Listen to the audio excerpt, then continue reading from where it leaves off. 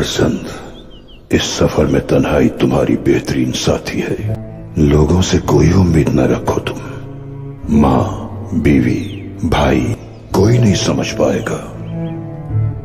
तुम्हारे अंदर क्या है वो नहीं देख सकते। उन सबको अपने ख्वाबों में हिस्सेदार बना लो। कभी ना उम्मीद मत हो, क्योंकि जब इंसाफ का आलम तुम्हारे हाथों सरबुलंद होगा तो हर कौम उसके साय तले आने की तमन्ना करेगी।